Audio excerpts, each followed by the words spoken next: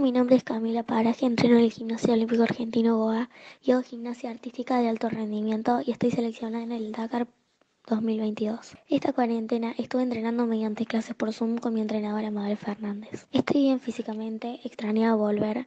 Acá en mi casa tengo algunos elementos, pero se pierde mucho en entrenamientos de lo cual yo necesito como las barras asimétricas, suelo, salto. Así que estoy contenta y esperando que todos podamos volver de a poco